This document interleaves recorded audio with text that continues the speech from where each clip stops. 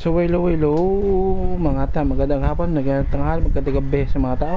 At welcome welcome sa aking gameplay ng NBA 2K24 my team.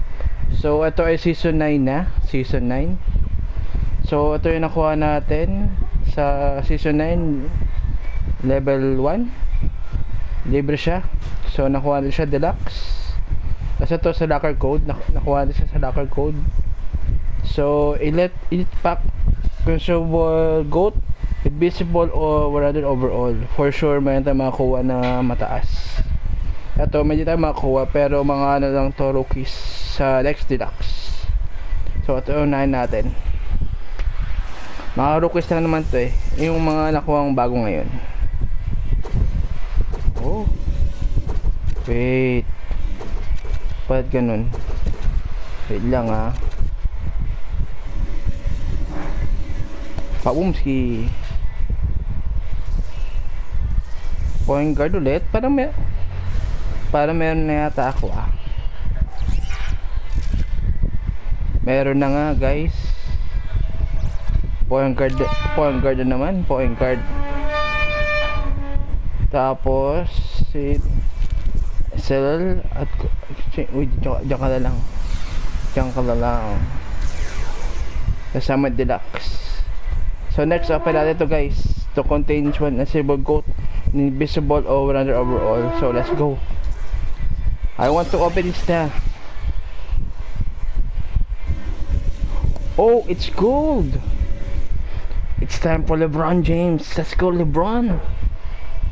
LeBron baby, let's go LeBron. This is my second goat guys. Oh, nag-intense pa talaga intense pa talaga siya. Ay, ayaw pa niya pakita kung sino siya. Sino, sino kaya yan? At nagpapa-intense siya guys. Nagpapa-intense. Papakita din yan.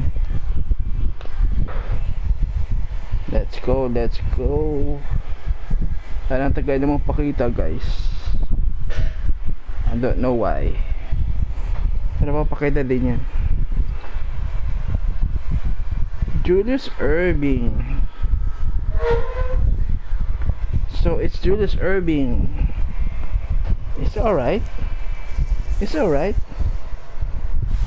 This it is small power shooting guard. So di nyo pa makita kasi nag-loading pa siya. So pwede natin nata i-ano Diba, pakita ko lang sa inyo pag ano na, okay na. So, Julius Irving. So, ang magyayari Paras kayong ano no? Oo. Tapos other player. Yan no. 6-7.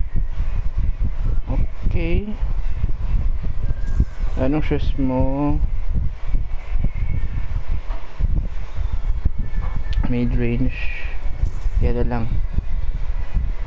Pero yan yung player guys. Si Julius Irving okay. So yun guys. Thank you thank you. Bye bye bye